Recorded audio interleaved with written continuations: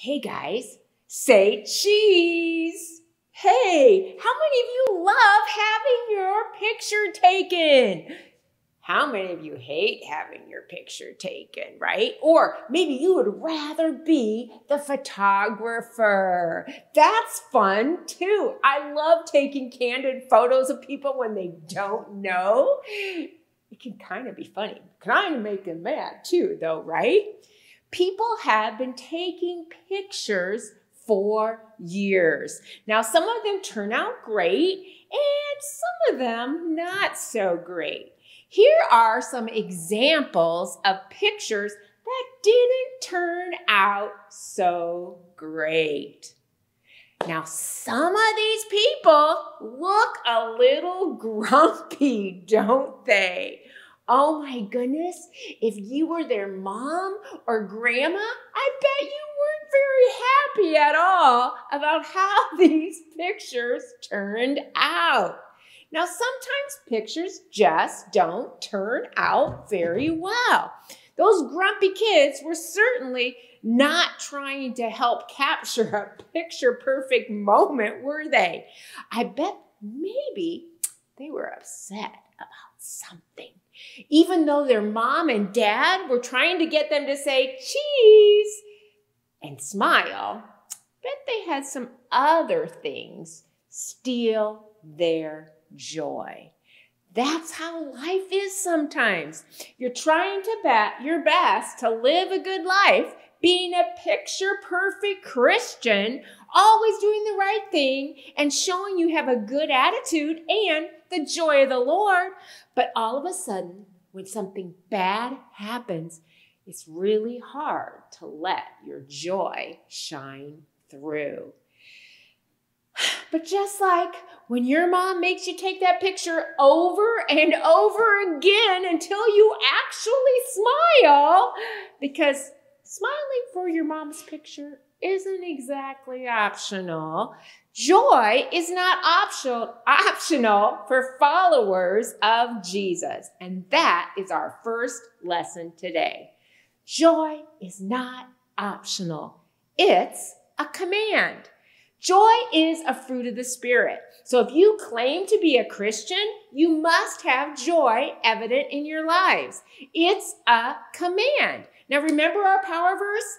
It's a command. It's God's word. Psalm 68 3 says, But let the godly rejoice. Let them be glad in God's presence. Let them be filled with joy.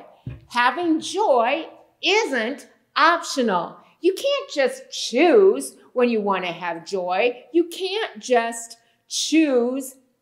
You can't just have joy when you come to church or when you're having a good day. You can't just choose to have joy when you feel like it. In fact, that's our next point in today's lesson. Joy is not based on what is happening around you. Guess what that means? It means that no matter what happens to you or around you, you have to have joy. If you're having a bad day, guess what? You have to have joy. If you're sick and throwing up, yep, you've got it. You have to have joy. If your dad punishes you for something you did wrong, guess what?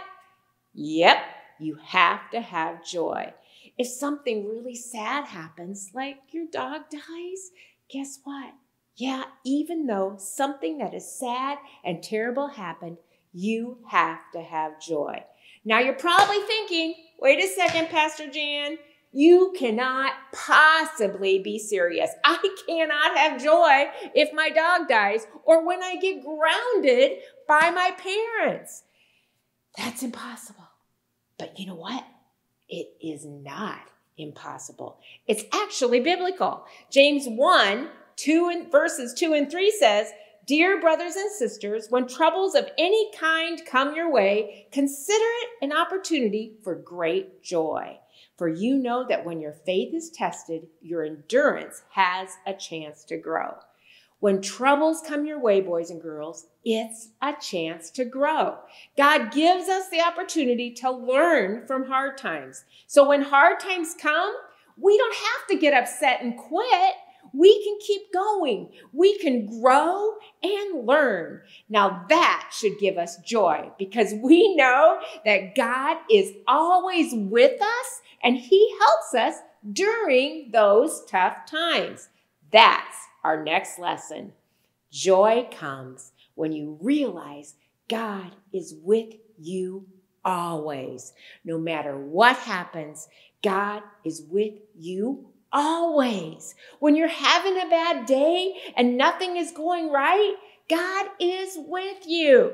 When you're sick and throwing up, God is with you. When you get in big trouble at home or at school, God is with you. When someone you love moves away or when you find it hard to make friends at school, guess what?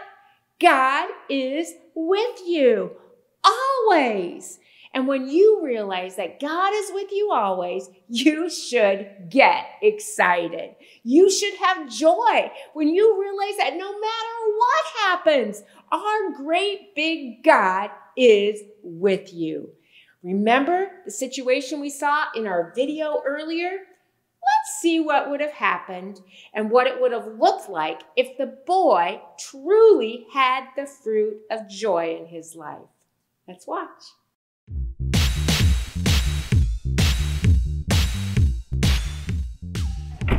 I know, church was amazing this morning. I loved everything about it. Yeah.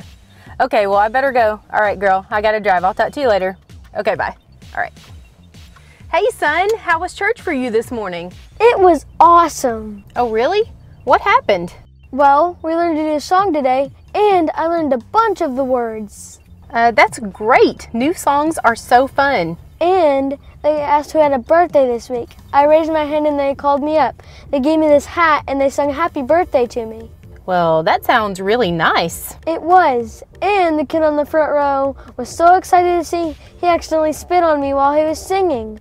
I thought it was hilarious. That is hilarious. And then on the way out, they handed out candy. I didn't find my favorite flavor, but I did get a piece of grape candy. Maybe I can have it for dessert after lunch.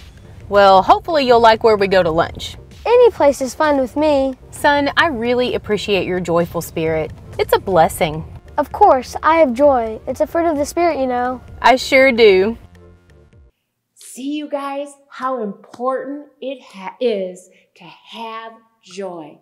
That command was a command for a purpose because God knew that there would be times in our lives where things would be hard. But if we have joy, because remember that He is always with us. Let's pray together. Lord Jesus, I know that there are several that are watching this today that are facing difficult circumstances. Lord God, that we would have joy no matter what circumstances we are facing, no matter what our situation is, Lord God. Help us to remember that joy is not optional because we know that you are with us always. We love you. We thank you for the joy of the Lord that is our strength. And help us to remember that in your presence, there is fullness of joy. In Jesus' name we pray. Amen. See you guys next week when we continue with the fruit of the Spirit.